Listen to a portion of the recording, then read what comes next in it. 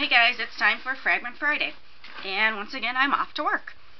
I'm going to go ahead and read a little fragment out of Wereling by Steve Feasey. This is going to be the next book that I'm reading. I haven't even started it yet, so I thought I would start it with you guys. So we'll start with chapter 1. Trey Laporte opened his eyes, wincing against the assault of the late morning sunshine on his retinas. Sitting up in bed, he clutched his hands to his head as a mortar shell of pain exploded inside his brain. Bright stars lit up behind his eyelids, making him feel sick to his stomach. He sank back onto his pillow with a groan and stared up at the ceiling, which shifted and swirled lightly under his scrutiny. Saliva filled his mouth again, and he concentrated hard on not vomiting, wishing that these feelings would go away. He realized that he had no recollection of going to bed last night.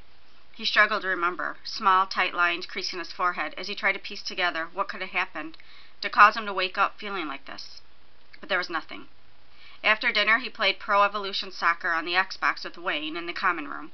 Wayne was his usual inept self, and Trey soon got bored of thrashing the pants off him. At nine o'clock, he'd called it a night and gone back to his room to listen to his MP3 player. He'd walked into the room, locked it behind him, and then nothing. He couldn't remember a single thing from that moment onward. It was as, it was as if someone had hit a delete button at the precise moment he'd entered his room, and erased everything from that point until now. He lifted himself up off the pillow again. A fresh wave of nausea rolled over him, causing a hiss to escape his lips. His mouth was so dry that his swollen tongue felt sticky against the roof of his palate. He needed a drink of water.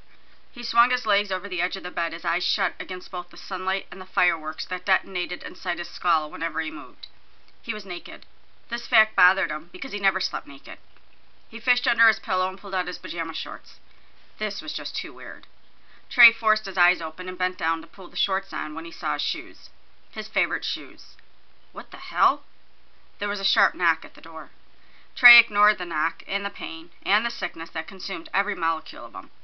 He'd saved for weeks to be able to afford those sneakers, and now they were lying on the floor, ripped apart, as though someone had taken a large carving knife and slashed at them in some frenzied attack.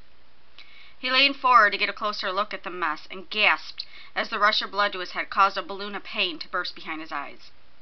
My shoes! What the? His voice cracked as he tried to speak, and his throat felt painfully raw.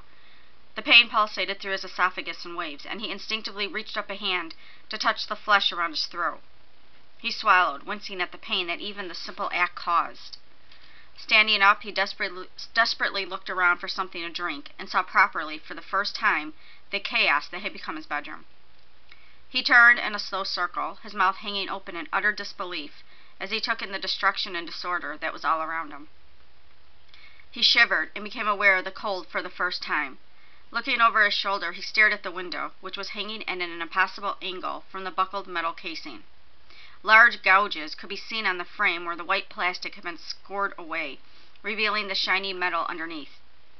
The window itself was intact, but appeared to have been torn away from the top hinges so that it hung outward at a drunken incline.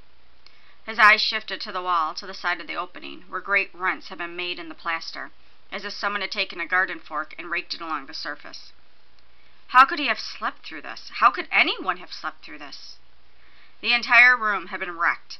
His possessions he had so few good things that he kept them neatly arranged and cared for were scattered around the place, many broken and destroyed. His heart was slamming into his chest, and he felt a sudden urge to scream out in anger. He wanted to cry. He wanted to kill someone. He wanted to find whoever had done this, and... The knock on the door was repeated, louder this time, and he turned to look in its direction. His eyes fell on the key that was still in the lock on the inside. He walked over and twisted the door handle, expecting to feel the door give and open. He stepped back when it refused to budge and stared suspiciously at the white glossy surface. Reaching forward again, he took the key between his thumb and finger and slowly turned it clockwise.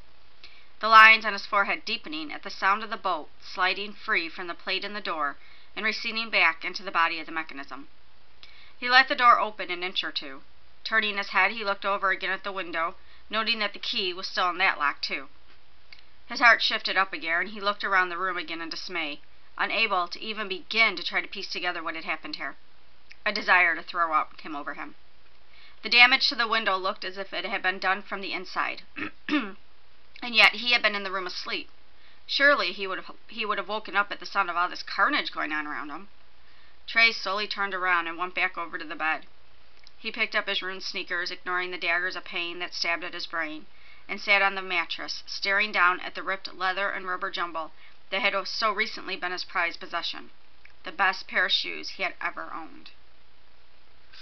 And I'm going to stop there. So yeah, that sounds um pretty good so far. So that was Wereling by Steve Feasey. Okay guys, have a good Friday. Bye.